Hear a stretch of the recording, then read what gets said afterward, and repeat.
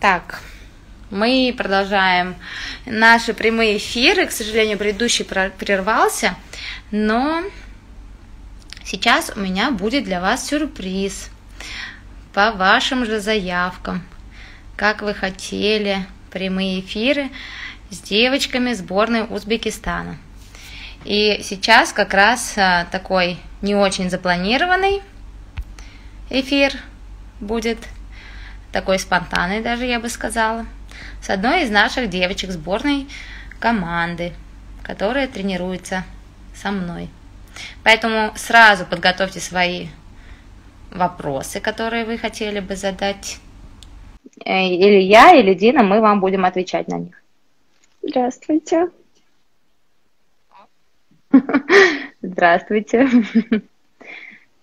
Так, это у нас Динара, Равшанбекова. Дина, расскажи немножко о себе.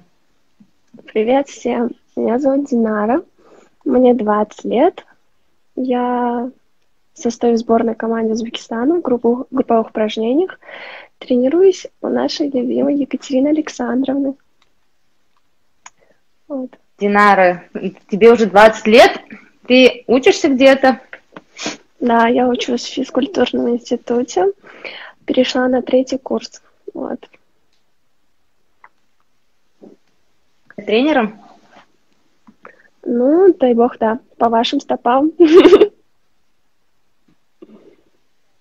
Дина у нас одна из самых э, опытных гимнасток в команде. Сколько лет ты в групповом, скажи, пожалуйста. Ну, уже четвертый год пошел, что я в групповом стою в сборной. Прям. Год. В основной это сборной. уже, это уже хороший срок, потому что уже в этом возрасте приходит опыт. Вот ты чувствуешь себя такой старожилой командой, что ты уже можешь ориентироваться, какие-то новые ощущения, может, у тебя появились, какой-то другой уровень перешла вот по сравнению с первым годом, со вторым годом, когда ты в команде. Да, ну после того, как этот появились вы у нас, как вы начали нас тренировать, и я прям чувствую, что у меня кардинально изменилось, я у меня повысился опыт, я стала намного опытнее и думаю, что я повзрослела, и я начала видеть много чего, чего я раньше не видела. И я набралась опыта благодаря вам, и я стала более увереннее в себе. И с предметом я дружу очень даже хорошо благодаря вам. Но еще у меня физические нагрузки у меня как бы увеличились, и я как-то начала, у меня ловкость увеличилась, я стала ловче, и потом я стала, э, у нас, как там, идет всякие нагрузки, которые вы даете, и, и благодаря ним повышается опыт, и физически я становлюсь лучше чувствуешь, да? Что раньше, например, ты могла там два часа полную силу, а сейчас уже побольше времени. Или как? Да, да, да, совершенно верно. Ну, у нас всегда была самой ловкой, одной из самых гимнасток, тех, из которых все ловят, которые просто самый сложный предмет догоняют, не боятся, берет э, самые сложные критерии, рискует больше, много очень больше всех. И, конечно, молодец, потому что чем ты старше, тем больше на тебя ответственности, больше всяких да. рисков, больше сложностей, потому что и команда в тебе уверена, что можно положиться, и, и я, конечно, как тренер тоже знаю, что ты уже не первый год Поэтому где-то я могу на тебя рассчитывать, что внутри команды, на площадке девочки тебя чувствуют, слышат, ты им что-то можешь как изнутри сказать. Вот. Поэтому если у кого-то из девочек есть вопросы к Дине, вы пишите. Вот тебе тут написали уже а, Кира, нечестного, нетесного, написала, сколько раз вы занимаетесь. Мы Расскажи. занимаемся... И с какого возраста, Дина, и с какого возраста ты занимаешься? Я занимаюсь гимнастикой с 6 лет, ну, как бы просто занималась, потому что у нас в моей школе в спортзале была гимнастика, и мама меня просто так отдала. И я, чтобы время просто так не терять, у меня мама на работе была до вечера. И мы как бы дома, чтобы одни не оставались, мы просто тренировались с сестрой. Ну, спустя время как бы моя сестра бросила, она не стала заниматься, она пошла заниматься учебой. Ну, у меня как-то все пошло, тренер меня заметил, я была очень мягкая, у меня прям растяжка во все стороны, я гнулась и вообще. А потом как бы произошел такой случай, то, что ей пришлось уйти из нашего зала, и я полностью завершила свою карьеру. Я не занималась, просто училась. И потом наш зал, вот этот большой, мама что-то решила меня отвезти. Ну, идем попробуем. Как бы зачем терять просто так время? Ну, я согласилась. Меня мама отвезла, и потом меня отправили в школу. Я там просто тренировалась, просто без ничего. Я не собиралась попадать в сборную, и никак. И потом на соревнованиях меня заметили и пригласили в сборную, в школу, в интернат. И я училась в РСТЮ Сушор. Это олимпийская школа.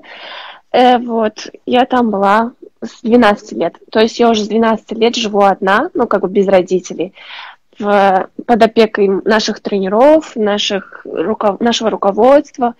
И вот, потом я закончила интернат, я также училась, тренировалась, но я была в личном. И я стояла еще в юношеской сборной, 99-й год. Да, групповом.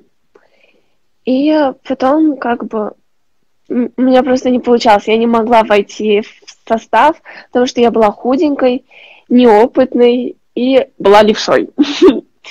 Вот, потом я ушла в личное, я была в личном. Потом у меня тренер опять вылетел. Я, получается, я с одного тренера к другому, потом еще к одному. И так туда-сюда ходила. И потом меня попросили, я, то есть, сдала экзамен, попала в сборную, где групповые, меня приняли, и с тех пор я как бы уже все в сборной официально в групповых. Но я в личном тоже была в сборной. И вот такие вот дела. Лет. Что? Сейчас спрашивала Сколько девочки. лет? Мне 20 Сколько лет. тебе лет? 20 лет. 20 лет. Да, но в этом 20 году мне лет. будет уже 21. 21 год. И ты еще не собираешься бросать? Ты еще собираешься продолжать тренироваться? Ну, у меня есть цель, мне надо сначала ее добиться, потому что я столько тренировалась и как бы просто сливать свой труд непонятно куда. И вот, надо сначала добиться своих целей, потому что ты столько идешь к ней, столько тренируешься. Вообще с детства я считаю, и вообще я знаю, что маленькие детки с детства все хотят попасть в сборную для начала, потом расти, расти выше, конкурировать на международной арене, ну то есть с международными гимнастками, а потом уже поднимать все выше и выше свой флаг, ну, своей страны, и, естественно, участвовать на Олимпийских играх и завоевывать медаль. Смотри, поп- э, все мечтают попасть на Олимпиаду, все мечтают попасть в сборную команду, все мечтают э, выиграть что-то, прям медаль получить, Да. э, стоять на пьедестале и слушать гимн ваш, своей же страны. А вот что для этого нужно? Что? Сколько Ну, надо пройти всего? Сколько надо выдержать? Э, Есть какие-то трудности или все так легко дается? Нет, на самом деле по ту сторону медали там столько всего скрывается, я так хочу сказать. Там столько слез, боль, улыбок, травмы, морально тяжело, физически тяжело. Я живу на базе, и мне, у меня бывает такое, что я очень сильно хочу домой, скучаю по родителям. Вот. Но как бы цель превыше всего, потому что надо достигать цели, надо ставить перед собой цели и обязательно их достигать. Не просто останавливать на пути, ну, на полпути как бы начать. Я, типа, дойду, и потом уже бросать и говорить, что ты не можешь. Надо бороться за себя, за свою цель и быть уверенным в себе. Чем больше ты уверен в себе, тем лучше тебе. На самом деле ты реально достигнешь своих целей.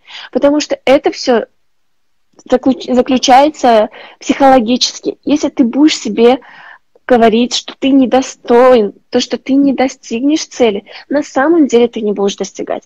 А если ты поставишь себе конкретную цель, я достигну, я этого сделал, и будешь этому верить, И просто вы не поверите, Вселенная поможет нам, и тренера начнут помогать, и ты, конечно, будешь слушаться тренера и доверять ему. И тогда у тебя реально все получится. И ты будешь смотреть и видеть, как ты растешь, растешь, растешь. Вот. А вот э, когда у тебя появилась эта цель, тебе легче было тренироваться, чем когда у тебя этой цели не было? Или у тебя всегда была цель, тебе всегда вот прям хотелось сидеть тренироваться, покорять что-то, достигать? Или были моменты, когда ты вроде понимала, что не хочу идти на тренировку, а потом, например, раз поставила цель и все-таки решила и пошла и пахать начала? Да, да, очень часто бывало такое, что я думала, все, я уже не могу. Может, это конец, может, это финиш. Я сомневалась раньше в себе. Я думала, может, это не моя дорога. Но спустя время я реально поняла, что я на правильном пути. И я хочу сказать, что я так хотела этого достичь, и люди и Вселенная начала помогать мне, отправили такого великолепного тренера, как вы, и я начала реально достигать высот. Я как бы за 2019 год я стала ази- азиатской чемпионкой, плюс двухкратной в финалах. Я завоевала серебро в многоборе. На Кубках мира мы заняли место на Гран-при. Ну, это реально на самом деле это круто. И когда ты достигаешь своих целей, у тебя как бы вырастают крылья, и тебе хочется еще больше, еще больше, еще больше двигаться вперед.